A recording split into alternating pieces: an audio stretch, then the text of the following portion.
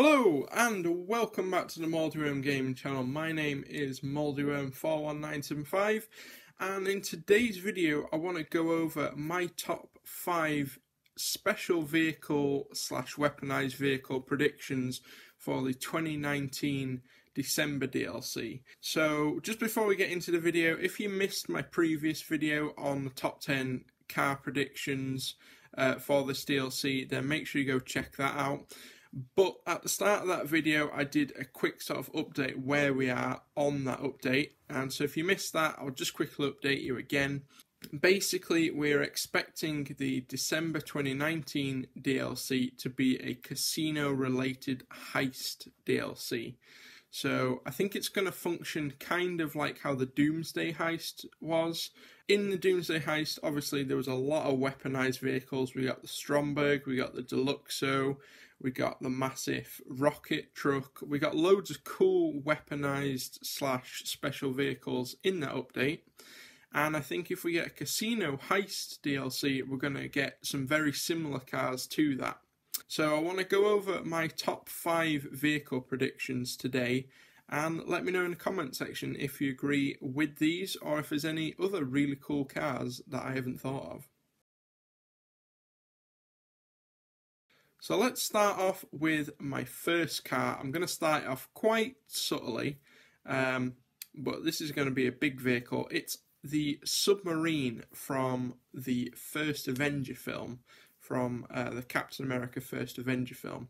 So if you've not seen this film, basically um, there's a bad guy and he steals some like special potion that makes Captain America really strong and he's trying to get away in this submarine that you can see now. And it's a really cool submarine, actually. Um, we haven't had any updates to the submarines in GTA since the game launched. So we have the Kraken submarine and just the normal submersible submarine.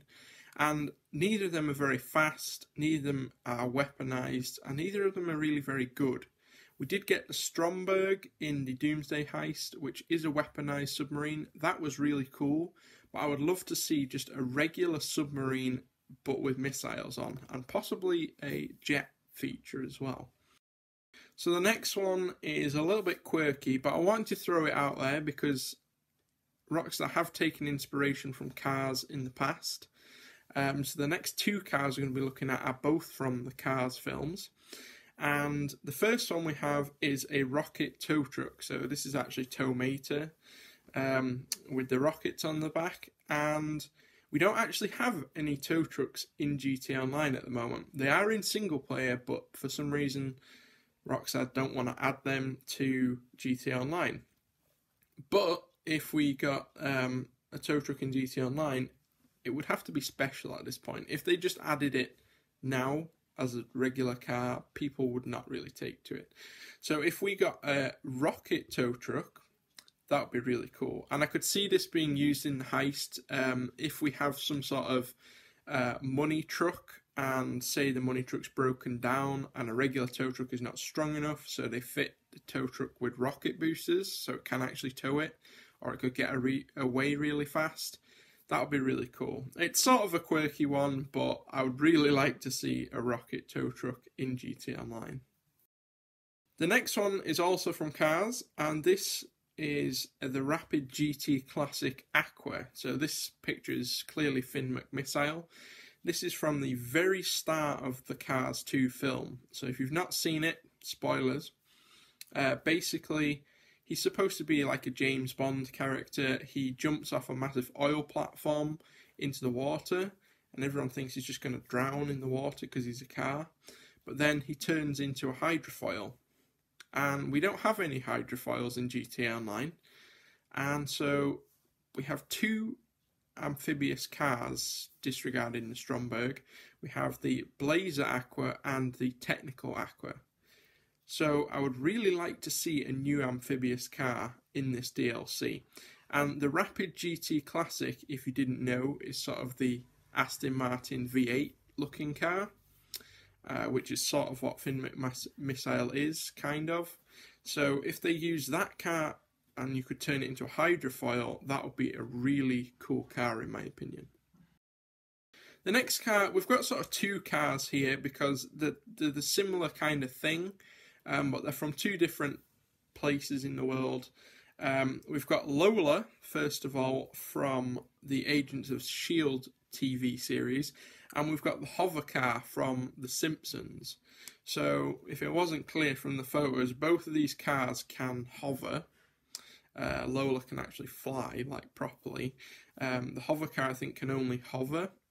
Uh, now, we already kind of have a hover car, the Deluxo, um, but that is quite an overpowered car. So, I'd like to see something maybe that couldn't fly. It could only like hover above the ground, so it couldn't fly like the Deluxo can, but it has the hover ability of the Deluxo. Now, I could see Rockstar adding this because it's a really cool car. Well, both of these are really cool cars. Um, and the work is already done for them. They've made the hover ability for the Deluxo, so it wouldn't be that hard for them to implement that code for these cars. So there's two more cars really there. I know this is a top five list, but I thought they're very similar, so I'll put them in the same section. And the final one we have, you're going to see this photo and you're going to go, yeah, he's put that on just for a joke. And yeah, I have put it on for a joke, but I, could see Rockstar doing something like this. At the moment, they're adding some really cool, quirky cars, like the um, new Rampant Rocket Trike. That's a really cool bike. Okay, the handling's terrible, but it's a really cool and quirky thing, and it's the kind of vehicle that people want to buy in GTA. And if we got a tank Panto in GTA Online or a tank smart car, people would buy that car. Every person in GTA Online would buy that car. It doesn't matter if it had bad performance because it is just something really cool. And the last time we saw a tracked vehicle was in the Arena War DLC, where we got the the new sort of tank, the Ripsaw tank. So Rockstar have already got the tracked object in GTA Online, so all they would have to do is modify the existing Panto slightly and add the tracks, and every person would buy this car. So that is going to be it for this video. It was only a short one. That is my top five special vehicle predictions for our 2019 DLC. I hope you guys have enjoyed this video. If you have, leave it a thumbs up and also subscribe if you're new. Let me know in the comment section as well, is there any other vehicles you can think of that I haven't? That would be really cool in this DLC. And also, do you agree with my list? But thank you very much for watching, and I'll see you all next time.